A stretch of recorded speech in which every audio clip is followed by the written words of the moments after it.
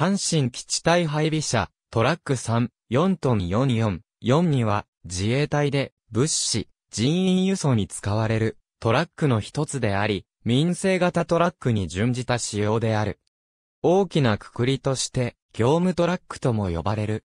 自衛隊正式の73式中型トラック、73式大型トラックとは異なり、構成はより民生品に近い。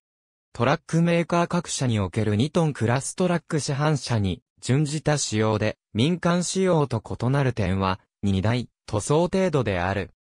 73式中型トラック、73式大型トラックは、作戦運用を想定して製作されているのと、対象に、本社は、基本的に平時の各種物資等輸送に用いられる。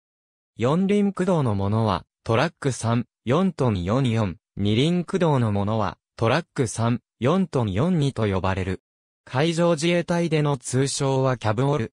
車両の使用は民間が向けと、基本的に同一であるものの、大多数を占める、ホロ使用者は、人員輸送も可能である。荷台に十数人を乗せることができ、73、式中型トラック等のような折りたたみ式、木製ベンチシートが備えられている。